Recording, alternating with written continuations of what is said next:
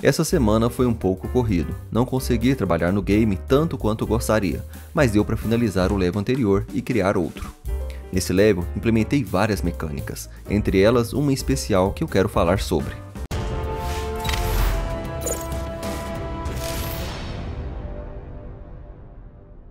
Fala galera, beleza? Marques falando com vocês, e aí, como é que vocês estão? Eu criei um sistema de girar uma espécie de leme e esse leme fazer girar uma determinada plataforma. É uma mecânica legal, pois dá para montar alguns quebra-cabeças para deixar o gameplay mais interessante. A cor da plataforma está diferente do restante do cenário, mas isso será corrigido depois. Nesse caso, trabalhei com três lemes e três plataformas, cada uma funciona de maneira independente.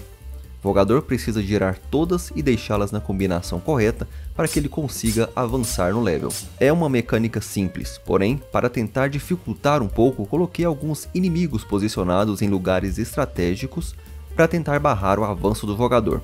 Esse sistema que fiz é bem interessante, pois posso adicionar quantas forem necessário sem muito esforço para isso.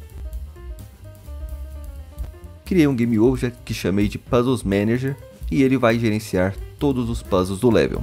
Dentro dele tem um script com alguns arrays, onde vou adicionar o leme e a plataforma correspondente de cada novo puzzle que eu adicionar. Seu script é bem simples, basicamente tem um método que cuida da rotação do leme e da plataforma. Assim que o jogador acionar, ela pega o ângulo atual e adiciona mais 90 graus.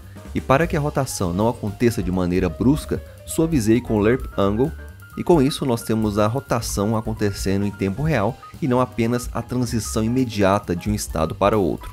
No script do Leme, eu fiz uma verificação para que o jogador só consiga ativar a rotação se estiver colidindo com o leme e pressionar o botão Fire 2. Aqui ele manda um ID único para o Puzzles Manager para que assim eu consiga tratar cada plataforma de forma independente.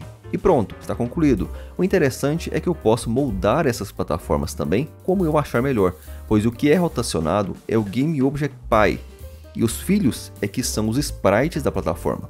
Bom galera, estou bem satisfeito com o resultado do game. Sei que não será um game inovador ou que vai mudar o cenário mundial de jogos, mas vai te proporcionar horas bem divertidas, desvendando segredos, puzzles, enfrentando desafios e liberando coisas secretas e tudo mais.